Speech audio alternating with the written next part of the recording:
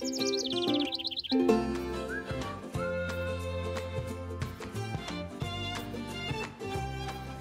مكملين معكم بقضيتنا اليوم. عم نتحدث عن ارتفاع أقساط المدارس الخاصة وتحدثنا بالجزء الأول عن تقسيم والفئات اللي ممكن تلجأ لها أو نصنفها لكل مدرسة لكن يعني كان التوجه هل هذا القسط المرتفع يوازي زيادة بالخدمات أو زيادة حتى في رواتب وأجور المعلمين؟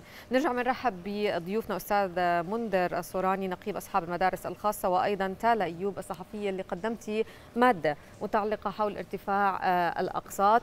وأيضا بنوه أنه رح نقرأ مجموعة من التعليقات. أيضا بنرحب بمداخلاتكم بإتصالات مباشرة على الهواء. تالا خلينا نتحدث عن هجرة طلابية وهي صارت ظاهرة. عم نشوف يعني عدد كتير كبير بوصل للآلاف من الطلاب عم ينتقلوا من مدارس خاصة لمدارس خاصة بأقساط أقل أو مدارس حكومية. حطينا قديش هذا الموضوع صار منتشر وشو عم بيكون التوجه الرئيسي؟ آه. ليش عم بيهجروا أو ليش عم بيغيروا المدارس؟ هلا شوفي في عدة أسباب. هلا ارتفاع الأقساط المدرسية مش بس السبب الوحيد ولكن هو السبب الرئيسي في هذا الشيء هلا لما كثير أهالي بلاقوها صعبة إنه ينقلوا من مدرسة قسطها عالي لمدرسه قسطها أقل. نعم. بلاقوها صعبة ما بدهم يعرضوا نفسية أولادهم للمتاعب للهي لأنه بتعرف في بيئة تعليمية جديدة عندك معلمين جداد عندهم بدهم يكونوا صداقات جديدة وهذا الشيء بيأثر على نفسيتهم على من ناحية تربوية ومن ناحية نفسية. ومع ذلك ممكن يعني ممكن ينقلوا. وصار في عندنا هجرات هلأ من المدارس الخاصة للمدارس الحكومية وهلأ هجرات كبيرة. إحنا في هاي المرحلة إحنا ما بنحل مشاكل عند المدارس الخاصة وإنما إحنا بنرحل المشكلة للمدارس الحكومية.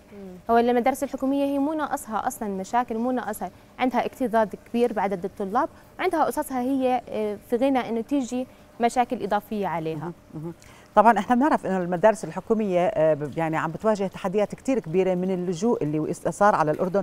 فعم كثير يعني عم بحط عليهم مسؤولية وشغل كثير كبير لحتى يواكبوا اكتظاظ الغرف الصفية بالرغم من المساعدات. ولا مرة كانت عم بتكون كافية بالسنين الماضية لإنه يرجع القطاع المدارس الحكومية يكون قادر يقدم حسب التطورات نتيجة الضغوط اللي جاي هي من من اللاجئين للأردن. ولكن بنيجي بنرجع. حضرتك أستاذ منذر عندك رأي خاص بالنسبة لتصنيف المدارس. فيه عم بتقول إنه شيء ممكن يفيد كثير المدارس الصغيرة وممكن يسبب ممكن يكون زي ما نقول نزاع. ولكن إحنا هذا التصنيف على المعايير اللي عم بيعتمدها تصنيف المدارس الخاصة. شو المعايير؟ يعني هو نحكي بالتصنيف إنه المشروع هذا قائم من 2000 2008 هذا المشروع. م. يعني زمن معالي الدكتور خالد طوقان.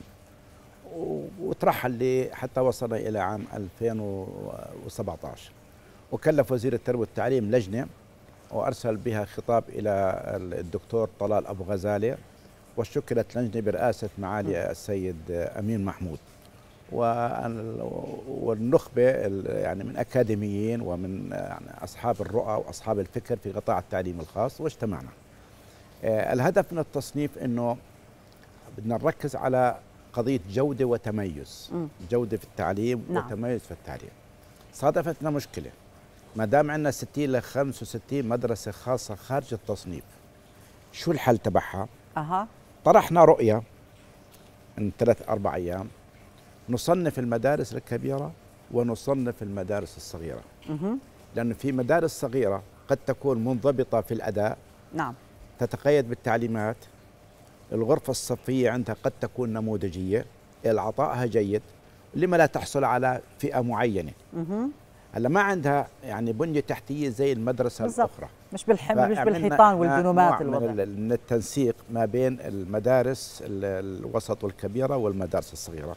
حتى نجعل لها حافز. آه طبعا هذا بده يكون ضمن معايير. كل معيار له عنوان له هيدلاين كل معيار له تفاصيل. نعم. يعني مثلا ممكن مدرسة خاصة يكون عندها مدرج. آه. مسرح. ومدرسة خاصة عندها مسرح بس هذا بسع 200 وهذا بسع 1000 لاحظت كيف؟ حتى تطلعي في معايير دقيقة. لا نظم أحد. بنشتغل على هذا المشروع؟ أعتقد هذا المشروع إذا خلا من أي أمر مالي. بنجح.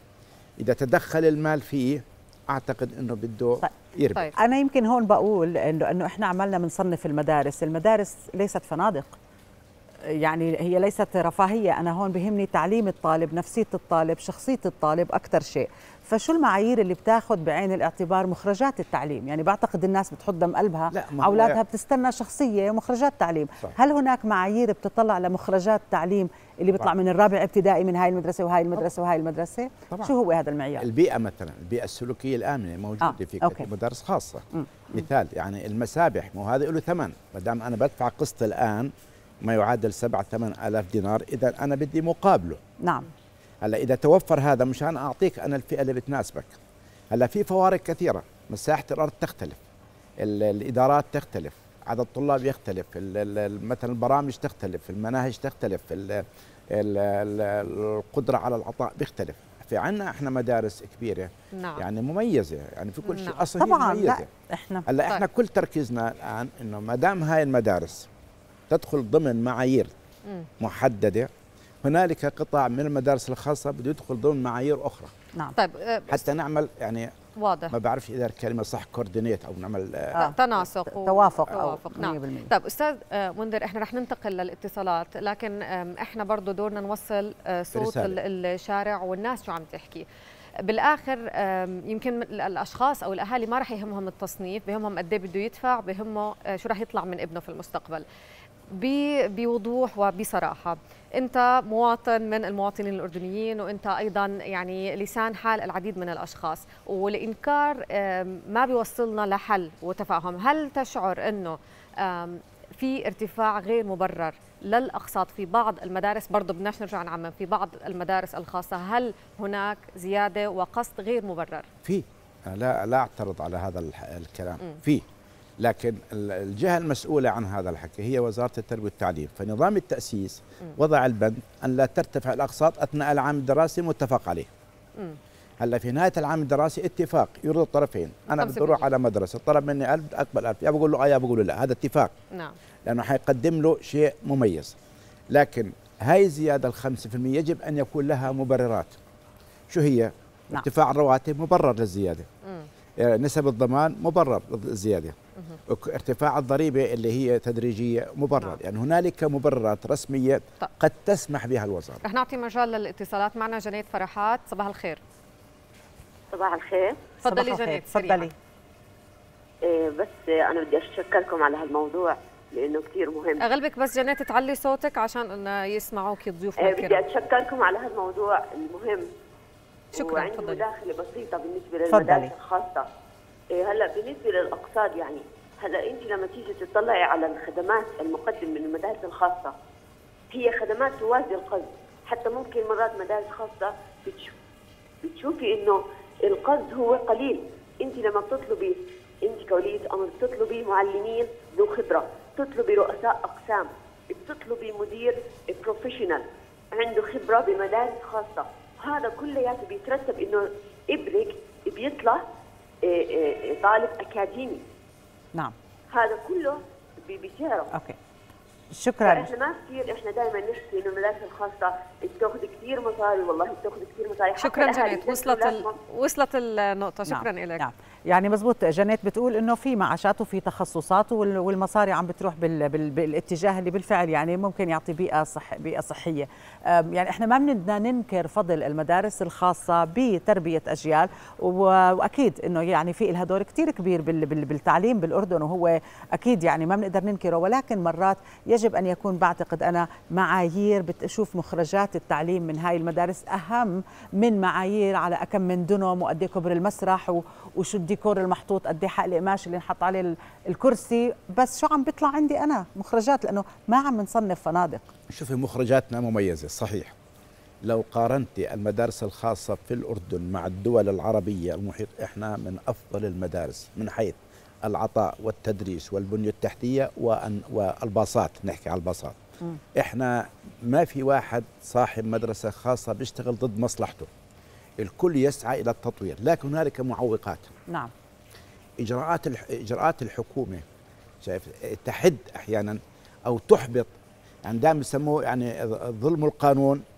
بيؤدي إلى إلى التمرد بيقولوا نعم. ففي عندنا إحنا فجوة الآن يعني. نعم. ال- الإشكالية لا توجد الآن سياسة ثابتة للتعليم الخاص. أنا بحكيها على العلن نعم نعم يوم نعم. تكون هنالك سياسة ثابتة نعم. للتعليم الخاص. لأن الوزارة متفهمة لكل قضايا المدارس الخاصة ومشاكلها. لكن الخلل من ينفذ هذه التعليمات والأنظمة هم اللي بيربكوا الوزارة بيربكوا قطاعنا إحنا. هذا القطاع يجب أن نحافظ عليه. سواء طبعاً. بقيت أنا فيه أو غادرته. هذا القطاع مهم لأنه مشروع وطن.